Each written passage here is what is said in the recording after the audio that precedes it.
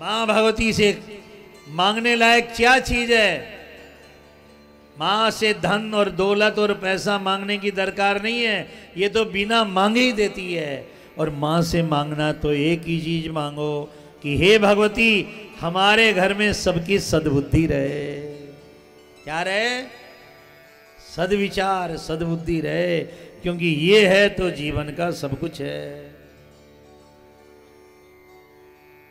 बड़े अच्छे अच्छे घरों में बेटे की बिगड़ जाए, बहू की बिगड़ जाए तो घर नरक हो जाता है।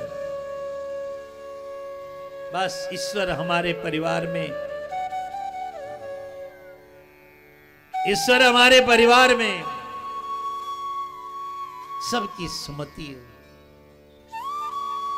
इससे बड़ा कोई धन है इतने। देखो, कई लोग आज ही आए सेठ जी को हम देख रहे हैं। आज ही आए आप लोग भी। जो लोग, इतना सुन लें।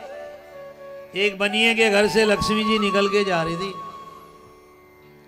तो बनिए ने हाथ जोड़े, माँ, हमने तो तेरा सदा स्वागत किया, फिर आप क्यों छोड़ के जा रही हैं? लक्ष्मी जी बोला, मेरा स्वभाव चंचल है एक जगह नहीं रहती, इसलिए जा रही हूँ। आ जा, पर जाते जाते, माँ, एक वरदान दे जा। माँ ने कहा, दो नहीं दूँगी, एक ही दूँगी। कहा जा, एक ही दे जे क्या दे? कहा, बस माँ, हमारे घर में सबकी सुमति रहे। बहु, बेटा, परिवार, वंश में हमारे किसी की भी कुमति मैं हो।